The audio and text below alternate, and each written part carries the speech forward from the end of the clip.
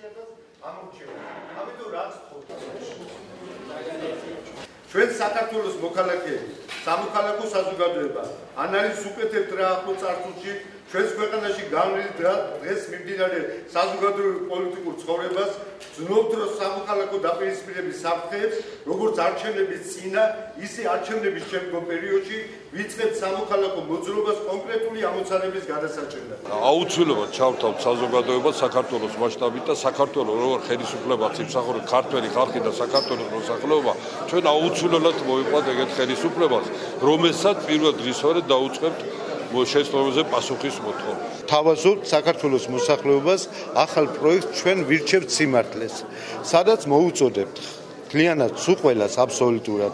არ აქვს მნიშვნელობა რომელი პარტიის წევრია, რა აღსარებლობისა, რა რელიგიისა, რომ ერთხელ და სამუდამოდ საქართველოში ბოლო 20 წლის განმავლობაში ჩავატაროთ სამართლიანი გაუყალბებელი არჩევნები. ვეტერანები ვართ სამოქალაქო საზოგადოების ნაწილი ჩვეულებრივად როგორც შეიძლება იყოს პედაგოგი, მსახიობი, მშენებელი და მიგვაჩნია ჩვენ ვალათ რა რომ არ ჩამოვჭრა საზოგადოებრივ ცხოვრებას, მithumetes დღევანდელობაში უკვე როდესაც შეიძლება ხმამაღალი ნათქვამი არ იქნება რომ ქვეყანა არის უკვე გადასარჩენი იმ უბედურებისგან რაც ქვეყანაში ტრიალებს და ამიტომ ჩვენი მეგობრები, ჩვენ თანამებრძოლებით დიდი პატივისცემით აგებ ბატონ იურა ვაზაგაშვილის ოფისის მიერ გაჟღერებულ ინფორმაციას უერთდებით.